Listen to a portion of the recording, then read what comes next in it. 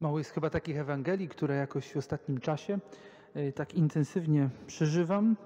I tak jak jest to napisane tej gotowości czuwania, to, to, to wezwanie, e, które Chrystus kieruje, e, mówiąc pewną przypowieść czy historię o, o tym, jak Pan powierza i każe służbom czuwać, czy wieczorem, czy o północy, czy o pianiu kogutów, czy rankiem. We wszystkich chyba tych prawie poza poran, tym pierwszym opianiu kogutów, to w każdej z tej porze odprawiam mszę święty i słyszę tą Ewangelię. Czasami tak jest, że jakoś tak bardzo mówi. Ale myślę, że do nas też bardzo mówi to wezwanie do czuwania, niezależnie ile razy to Ewangelię już słyszeli. Wezwanie do czuwania. To jest wezwanie do czuwania, aby być gotowym na przyjście Pana. I to jest adwent, w który wchodzimy. On cały czas jakby koncentruje się tego, aby być takim czujnym w oczekiwaniu, pełnym takim uwagi, aby to przyjście Chrystusa nam gdzieś nie przeszło przez palce, abyśmy go nie zauważyli.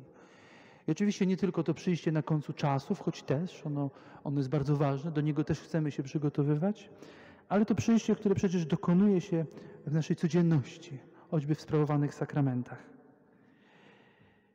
Każde wezwanie do czuwania nas jakoś na nowo kieruje, czy na nowo pociąga do tego, by podjąć jakąś drogę pracy duchowej, duchowego postępu. Mówimy też w chrześcijaństwie ascezy. Takiej, która może być ascezą negatywną bądź pozytywną, czyli taką, że coś odbieram sobie, coś dobrego, aby to jakoś nie, nie powodowało, że nie jestem gotowy, że ciężko mi czuwać, albo coś pozytywnego, że działam przez dobro, że podejmuję jakieś decyzje, które będą pomagały mi e, w tym, w tym czuwaniu i w przygotowaniu na przyjście Chrystusa. Rekolekcje adwentowe są na pewno jednym z wyrazów ascezy pozytywnej, takiej, że coś daje więcej, aby to słowo, które do mnie dotrze, przemieniało moje serce. To zawsze musi być coś bardzo konkretnego.